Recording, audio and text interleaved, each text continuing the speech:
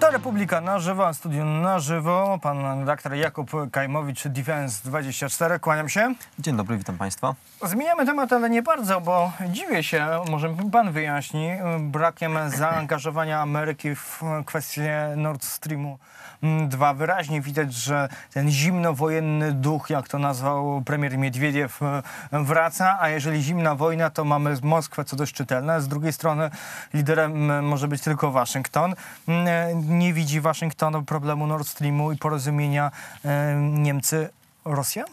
Wydaje się, że Waszyngton zaczyna dostrzegać ten problem, ponieważ e, zdaje się wczoraj e, portal Politico opublikował artykuł, w którym właśnie wskazuje na ten, na ten kłopot i na wypowiedzi amerykańskiego ambasadora, który mówi, że Nord Stream, znaczy wypowiada się po prostu krytycznie na temat Nord Stream. Ja dokładnego cytatu nie pamiętam. W odpowiedzi... A nie ma pan wrażenia, że to trochę mało? Taka, taki komentarz to niewiele Amerykanów kosztuje. Oczywiście, tylko musimy sobie zdawać sprawę z tego, że rura gdzieś na dalekim morzu e, nie jest dla Amerykanów jednak niestety problemem priorytetowym. Więc... A co już Moskwy z e, Berlinem? W zależności od tego, jakie on przybierze kształty. Oczywiście ja zdaję sobie sprawę z tego, o czym pan mówi. Amerykanie, mam nadzieję, też zaczną sobie wkrótce z tego sprawę zdawać. Natomiast y, musimy mieć świadomość tego, że nasza rola w tej chwili polega właśnie na tym, żeby Amerykanom uświadamiać, że to nie jest tylko rura gdzieś na dalekim morzu, ale to jest y, pewien jeden z elementów szerszej współpracy i szerszej kooperacji, które stwarzają bardzo, niedo, czy kontynuują w zasadzie bardzo niedobre standardy, jeżeli chodzi o y, relacje Niemców z partnerami europejskimi, czy szerzej relacje rosyjsko-europejskie europejskie. Wczoraj w Pradze, wcześniej w Brukseli widać też było kolizyjny kurs między Berlinem a Europą Środkowo-Wschodnią, bo najpierw premier Słowacji podkreślał o niedopuszczalnych naciskach, czy bezprecedensowych, jak się to określił, naciskach Berlina, by spotkanie Grupy Wyszehradzkiej plus partnerów z południa się e, nie odbyło. E, przywołując tą hi historię, usłyszałem e, wczoraj w komentarzach, że wraca ten podział na nową i starą Europę Donalda Rumsfelda, byłego sekretarza obrony, no a wszakże to, to za sprawą Ministerstwa Obrony chciałoby się powiedzieć e, po naszemu Stanów Zjednoczonych. W ogóle znaleźliśmy się w NATO. Dziś e, tam jest e, minister Waszczykowski, polski szef dyplomacji.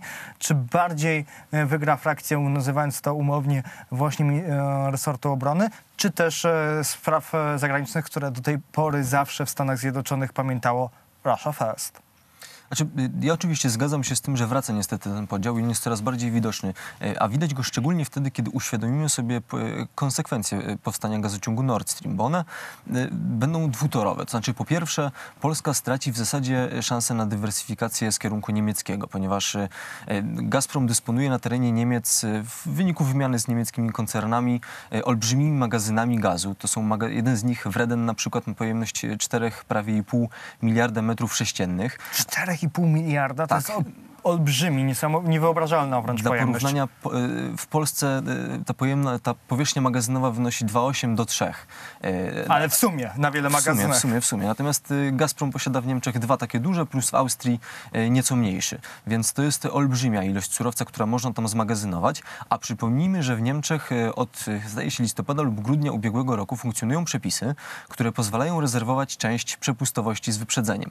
A to oznacza z kolei, że Gazprom, który kontroluje przez spółki zależne ponad 20% niemieckiego rynku plus infrastrukturę przesyłową w, w pewnym stopniu, może y, planując jakieś działania, bo Gazprom musimy mieć tego świadomość, jest emanacją polityki zagranicznej Władimira Putina i nie ma co Gazprom nazywa się Ministerstwem Spraw Zagranicznych Federacji Rosyjskiej i Gazu. Dodajmy, że zaufany człowiek e, prezydenta Władimira Władimirowicza e, nim zawsze kieruje. To są ludzie służb specjalnych, siłownicy, ba mówi się, że wprost gro e, tego będącego tajemnicą Paliszonela majątku Władimira Władimirowicza, szacowanego jako jeden z większych majątków na świecie, pochodzi właśnie z Gazpromu.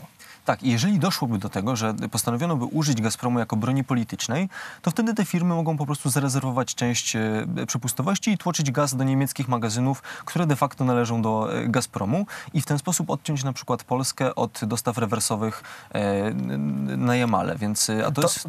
to znaczy, że tak naprawdę klucze wtedy do europejskiej polityki solidarności, z którą Donald Tusk szedł do Brukseli, w efekcie tej ustawy ma Władimir Władimirowicz?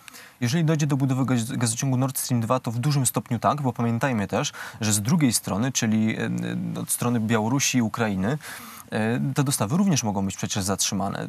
Cały białoruski system transportu gazu należy do Gazpromu. Jeżeli Nord Stream 2 powstałby, to myślę, że reformy polityczne i gospodarcze na Białorusi, na Ukrainie, przepraszam, mogą zostać w dużym stopniu zastopowane, a od tego już tylko krok od przewrotu politycznego i zmiany władzy na władzę wygodniejszą, która na przykład sprawiłaby, że ukraiński system transportu gazu przeszedłby podobną e, transformację jak białoruski i stał się rosyjskim.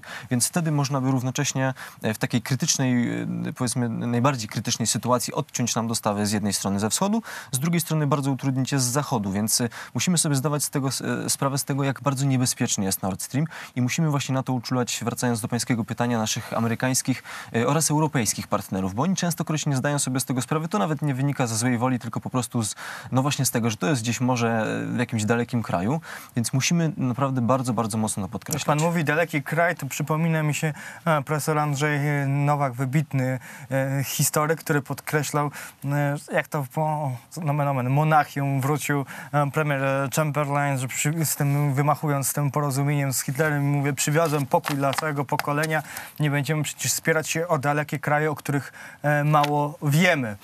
Wracając do tego, to Niemcy nie wiedzieli, e, że de facto wpuszczają sobie Gazprom, czy zrobili to intencjonalnie, bo im się to opłaca? Czy z punktu widzenia Niemiec pewnym stopniu może się to wydawać decyzją racjonalną, ponieważ niemieckie koncerny po prostu zarobią na wybudowaniu Nord Stream.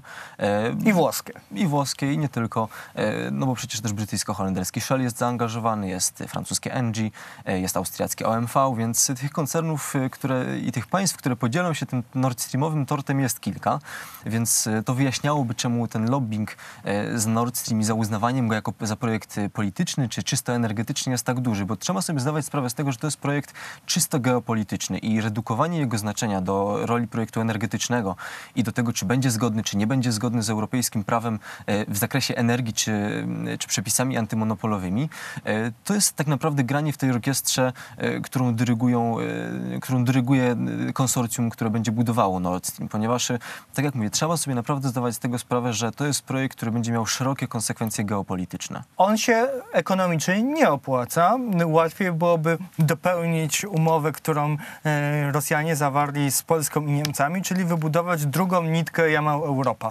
Czy to nawet nie byłoby konieczne, dlatego że y, w tej chwili y, modernizowana jest ukraińska sieć przesyłowa. Ukraińcy twierdzą, że może ona transportować po rozbudowie i po modernizacji nawet do 160-190 miliardów metrów sześciennych gazu rocznie. To jest bardzo, bardzo dużo. Więcej niż będzie transportowane przez Nord Stream, którego maksymalna przepustowość po rozbudowie wyniesie 110 miliardów. E, Ponadto też y, europejskie koncerny, czy, czy generalnie wspólnota już zainwestowały pewne środki w modernizację tego ukraińskiego systemu. E, I jako trzeci argument... I co, on należy- teraz będzie rdzewiał, bo Rosjanie zakręcą kurek, bo nie ci em, są nad tym e, rurociągiem, co trzeba? Istnieje takie ryzyko. Y, Ponadto trzeba pamiętać, że transport y, Nord, przez Nord Stream 1 jest droższy niż przez Ukrainę w tej chwili już. Więc y, to jest jakby brnięcie w tę sytuację i jakby dobitnie też pokazuje, że to jest projekt o charakterze czysto politycznym, który ma stanowić... To, to jest projekt, który ma być takim przyczółkiem polityki rosyjskiej, neo, neoimperialnej polityki rosyjskiej e, w Europie Środkowo-Wschodniej przede wszystkim, ale również z mocnym oddziaływaniem na Europę Zachodnią, ponieważ uzależnienie niemieckiego rynku gazu, kiedy powstanie Nord Stream 2 od rosyjskiego surowca, będzie sz- szacowane na rzędu 60%. Więc dla tak dużej gospodarki to jest szalenie dużo i e, no, łatwo sobie można wyobrazić, jak, e, jak można ten mechanizm wykorzystywać, ponieważ trudno sobie wyobrazić e, z kolei, żeby przedsiębiorstwa wstrzymały na przykład produkcję, bo im zabraknie surowca. To byłyby ogromne straty dla gospodarki. E, 60% to jest możliwość rozgrywania całej polityki w Republice Fe- Federalnej Niemiec. To znaczy, że jeżeli Władimir Władimirowicz uzna, że lepsza niż kanclerz Angela Merkel, która z naszej perspektywy i tak była zbyt prorosyjska, będzie jej koalicyjny partner, premier Bawarii e, z CSU e, Seehofer, e, to znajdzie sposób, by rozegrać scenę polityczną Republiki Federalnej Niemiec? Czy być może nie tak wprost, bo to jednak są bardziej skomplikowane mechanizmy, na pewno będzie miał mocne narzędzie nacisku. Co do tego nie ma wątpliwości. Ciężko, znaczy, wątpię, żeby to było takie wprost przełożenie, ale natomiast to jest naprawdę, to będzie naprawdę bardzo, bardzo mocny przyczółek. Zresztą też warto zauważyć, i to jest kolejny argument za tym, że Nord Stream 2 nie jest projektem czysto energetycznym czy czysto ekonomicznym, ekonomicznym, no takich projektów nie negocjują jednak wicekanclerz Niemiec i prezydent Rosji. E, Jeżeli politycy włączają się bardzo mocno, do tego stopnia, że wicekanclerz obiecał nawet przecież, czy zapewniał Władimira Putina, że e, będą starali się zrobić wszystko, mówił tutaj za swój rząd, e, aby Brukselę trzymać z daleka od projektu, żeby nie przeszkodziła w jego realizacji, czy nie obniżyła jego rentowności. Więc no, to wskazuje na to, że jakby zamysły Władimira Putina i Gazpromu i generalnie Federacji Rosyjskiej co do tego projektu są z, znacznie wykraczające poza sferę e, gospodarczą, ekonomiczną czy energetyczną. To tak wygląda solidarność energetyczna, tak wygląda Unia Europejska w praktyce. Pytanie, co my praktycznie, panie redaktorze, możemy e, zrobić, to leninowskie sztodzielać powraca. Na pewno powinniśmy e, podnosić e, argumenty przeciwko Nord Stream na arenie e, politycznej czy w sposób polityczny. Tutaj Nie robimy myśli- tego? Właśnie zmierzałem do tego, że mam tutaj na myśli między innymi wypowiedź prezydenta Andrzeja Dudy z Monachium, ponieważ bardzo ważnym jest to, żeby nie sprowadzić tego projektu do, do kruczków prawnych, bo nawet jeżeli Nord Stream 2 powstałby w zgodzie ze wszystkimi europejskimi normami, to wciąż będzie projekt skrajnie niekorzystny z punktu widzenia Polski, e, Słowacji, Ukrainy, również pewnie Węgier e, i innych krajów e, Europy Środkowo-Wschodniej. Tutaj ta jedność środkowoeuropejska, ten pas od krajów bałtyckich aż prawie po bałkańskie może nam pomóc. Spowoduje, że dostrzegą to o wiele bardziej niż tylko retorycznie Amerykanie, Niemcy, Francuzi, Brytyjczycy. Z całą pewnością stanięcie na czele takiej koalicji, powiedzmy, antynord streamowej, składającej się właśnie z państw bałtyckich i państw Wyszehradu między innymi, podnosi rangę, tych, e, podnosi rangę tych protestów i sprawia, że są one bardziej słyszalne. Tylko trzeba tutaj też mieć na uwadze, że no, niestety również w Wyszehradzie splatają się, przeplatają się różne interesy. No, niedługo e, premier Orban spotka się przecież z Władimirem Putinem. Pewnie będą rozmawiali między innymi o kwestiach energetycznych, więc też nie wolno wyjść z takiego założenia, że to jest oczywista oczywistość i w zasadzie to nie musimy się starać, żeby ta grupa, która w tej chwili protestuje przeciwko Nord Stream, no, jakoś funkcjonowała. Cały czas trzeba prowadzić zabiegi, rozmowy, negocjacje, żeby, e, żeby ten organizm anty-Nord Streamowy w cudzysłowie dobrze funkcjonował i, i żeby w pewnym momencie nie nastąpiła taka stagnacja. Stagnacja. Pytanie tylko, kiedy ruszą e, prace i na ile my jesteśmy dzisiaj zależni od e, Rosjan, na ile osławiony już, nie mogący się doczekać końca realizacji terminal m, w Szczecinie pozwoli nam wyrwać się z tych kleszczy. E, Świnoujski terminal e, pozwoli w tej chwili na sprowadzanie 5 miliardów metrów sześciennych gazu rocznie. To jest około 30% naszego rocznego zapotrzebowania, bardzo dużo, e, ponieważ trzeba mieć też świadomość tego, że zbyt duże uzależnienie od jednego rodzaju dostaw jest również niekorzystne. Po rozbudowie, która mamy nadzieję nastąpi, będzie to 7,5 miliarda, więc już blisko połowa całego naszego rocznego zapotrzebowania. Więc to jest sytuacja bardziej komfortowa niż jeszcze przed laty. Natomiast Game changer czy nie? Jak mówią Amerykanie, zmieniające wszystko sytuacja? Zmieniająca wiele, może tak, ponieważ, e, ponieważ stwarza nam też możliwość tego, żebyśmy stali się takim lokalnym redystrybutorem gazu, takim lokalnym centrum e, i to sprawia, że nasza pozycja geopolityczna w regionie również może wzrosnąć, bo kiedy będziemy dostarczać gaz na przykład do Czech, e, na Ukrainę, czy być może na Słowację, czy do Węgier, to są oczywiście takie hipotetyczne kierunki, no to wtedy nasze relacje z tymi państwami jednak wejdą na trochę inny, trochę inny poziom. A Czesi, Słowacy, Węgrzy chcą naszego gazu?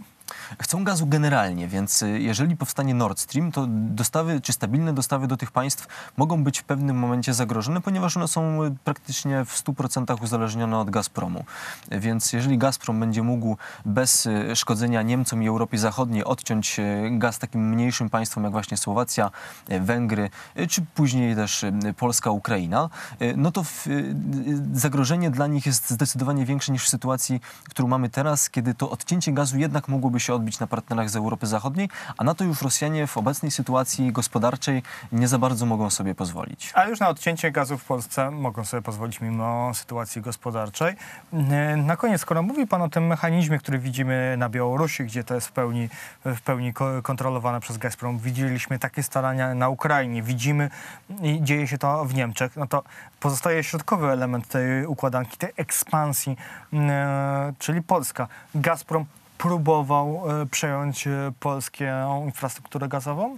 Nic mi o takich próbach nie wiadomo. Zresztą e, w Polsce sytuacja wygląda, e, wygląda nieco inaczej, ponieważ e, no, my po pierwsze mamy taki bardzo mocny mm, pierwiastek antyrosyjski, tylko nie w takim złym znaczeniu, że jesteśmy rusofobami, tylko raczej w takim, że zdajemy sobie sprawę z wartości, jaką stanowi kontrolowanie tej naszej sieci i przynajmniej takiej strategicznej infrastruktury. Polskie Górnictwo Naftowe i Gazownictwo jest spółką Skarbu Państwa i to jest. nas broni, ale ja sobie przypominam, że mm, e, spółka, która kontroluje Jamał Europa, miała zmiany własnościowe jednak i to na wniosek Rosjan, które nas mm, stawiały w najlepszym elemencie. Mówię o słynnych dwóch procentach e, nieżyjącego już Gudzowatego.